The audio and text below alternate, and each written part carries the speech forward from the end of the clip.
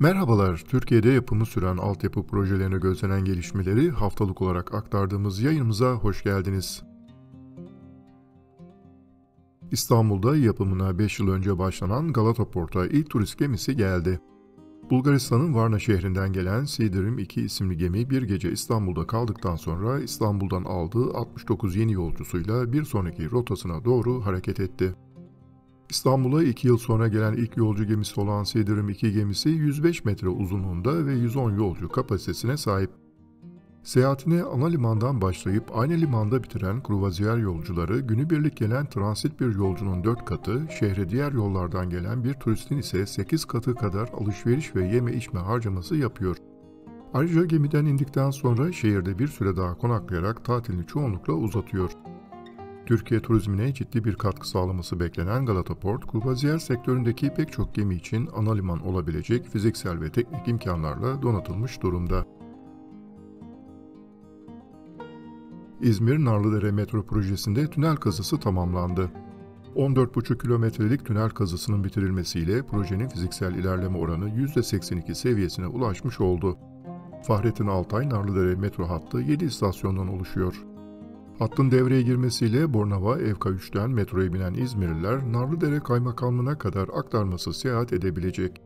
FK3'ten Narlıdere'ye günlük ortalama 470 bin yolcunun taşınması planlanıyor. Öte yandan Balçova istasyonunda 498 ve Narlıdere Kaymakamlık istasyonunda 207 olmak üzere toplam 705 araçlık tam otomatik otoparkta projeyle birlikte işletime alınacak. Yatırım tutarı 2,5 milyar lirayı bulan proje için bugüne kadar toplam 205 milyon avro kredi kullanıldı. Projenin Cumhuriyet'in 100. yılında hizmete alınması hedefleniyor.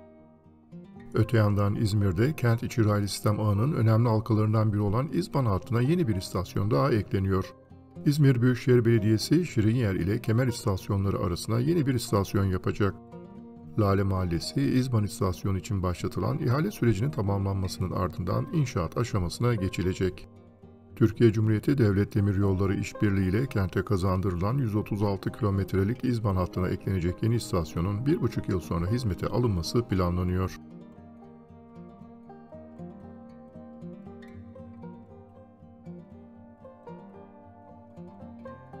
Antalya Büyükşehir Belediyesi'nin yönettiği 3. etap raylı sistem projesinde geri sayım başladı. Atatürk Müze durakları arasındaki raylı sistem hattının test sürüşlerinde son aşamaya geçildi. Kum torbaları ile yapılan sürüşlerde 3 farklı senaryo deneniyor. Yük simülasyonu ile hat üzerindeki ciğer gücü, sinyalizasyon ve trafo gibi sistemler test ediliyor. Atatürk Durağı, Sakarya, Batıgar, Yenidoğan, Kültür, Akdeniz Üniversitesi Hastanesi, Akdeniz Üniversitesi, Meltem Eğitim Araştırma Hastanesi ve Müze Durağı arasındaki güzergahtaki test sürüşlerin tamamlanmasının ardından hat hizmeti açılacak. Böylece Varsak ile müze arasında kesintisiz ulaşım sağlanmış olacak. Üçüncü etap raylı sistem ile müze durağından nostaljik tramvay aktarmasıyla eski mezbaya kadar gidilebilecek. Batıgar aktarmasında ise raylı sistemin ilk etabı kullanılabilecek.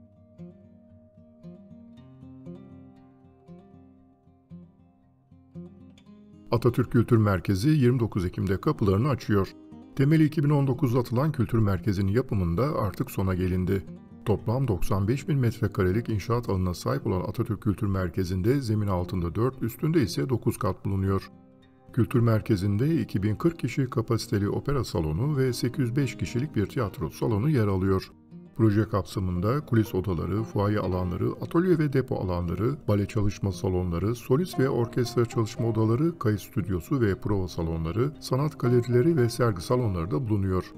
Opera salonunun sahne mekaniği ve sistemleri son teknolojiyle donatıldı. Derinliği 65 metre olan sahneye 4 ana sahne asansörü ile 13 kompansatör asansör yerleştirildi. İstanbul Büyükşehir Belediyesi Dolmabahçe Levazım projesi ile ilgili son durumu paylaştı. Projede güçlendirme çalışmalarının yapıldığı su giderme ve izolasyon çalışmaları ile tünellerin göçme riskinin giderilmesinin amaçlandığı açıklandı.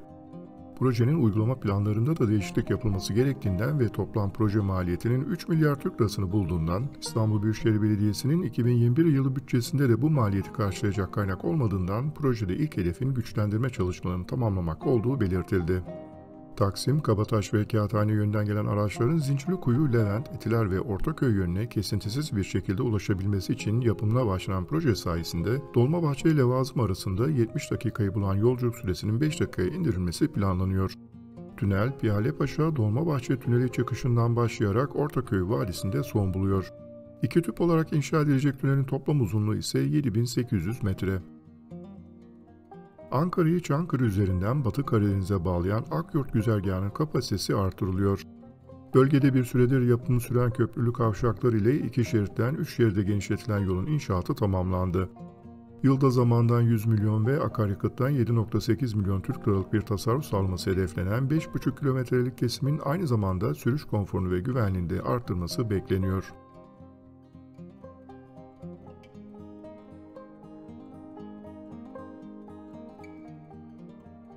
Çift eğrilikli beton kemer kategorisinde 275 metre gövde yüksekliğiyle Türkiye'nin birinci, dünyanın üçüncü en yüksek barajı olacak Yusufeli Barajı ve Hidroelektrik Santrali projesindeki fiziksel ilerleme %91 seviyesine ulaştı. Yapımına 2012'de başlanan baraj inşaatında bugüne kadar derivasyon tüneli, baraj ulaşım yolları, kazı ve destekleme çalışmaları ile baraj gövde betonu tamamlandı. Projede enerji kırıcı havuz ve kuyruk suyu barajı, santral binası, transformatör bloğu, su alma yapısı kapak şaftı, enerji tüneli, branşman imalatları ile elektromekanik ve hidromekanik çalışmaları devam ediyor. İşletmeye alındığında 650 bin kişinin elektrik ihtiyacını karşılayacak Yusufeli Barajı her biri 186 megawattlık 3 üniteden oluşuyor.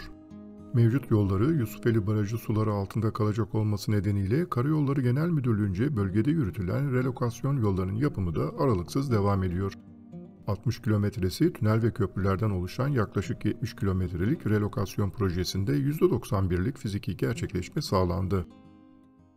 Yeni yol güzergahında 4 özel köprü inşa ediliyor. Bu özel tasarım köprülerden 530 metre uzunluğundaki Şrenkar Köprüsü'nün yapımı tamamlanırken 628 metre uzunluğundaki Tekkale Viyadüğü ile 345 metre uzunluğundaki Yusufeli Baraj Viyadüğü'nün de Ekim ayı içerisinde tamamlanarak kullanıma açılması planlanıyor. Tekkale Viyadüğü Türkiye'nin en yüksek ayaklı ikinci viyadüğü olacak. Özel tasarım köprülerden olan 685 metre uzunluğundaki Yusufeli Merkez Viyadüğü'nde ise çalışmalar devam ediyor. Proje kapsamında devlet su işleri tarafından yapılan köy yollarında da fiziksel ilerleme %81'e ulaştı. Türkiye'de yapım süren altyapı projelerine geçen hafta gözlenen gelişmeleri aktardık. Üye olarak kanalımıza destek verebilir ve projeler hakkında daha fazla bilgi alabilirsiniz. Üyelerimizin elde ettiği harcılıkları öğrenmek için videonun açıklama bölümünde yer alan linke tıklayınız. Siz de yaşadığınız bölgedeki projeleri yakından takip ediyorsanız, Kamu Gözü İş Ortağı programına dahil olabilir, kanalımıza yayınlanan videolardan gelir elde edebilirsiniz. İş Ortağı programı ile ilgili detayları web sitemizde bulabilirsiniz. Kamu Gözü'nü izlediğiniz için teşekkür eder, iyi günler dileriz.